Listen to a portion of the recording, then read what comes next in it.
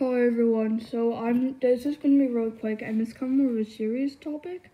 So like if you're from Mount Martinez and in the strawberry cult, definitely listen up please. So please do not participate in the Fourth of July thingy banning Oliver Tree. But to get Melody said that like she, that she like she's chill with it now. I know we all hate Oliver Tree, but but like like I know we all hate him but like sorry, but like we, but like I'm so sorry, but like that would be against Melody's wishes, and that, and I'm really sorry, and she would not like that. Thank you so much for listening, and yes, thank you so much, everyone. Just, just yes, so please just do not participate in this.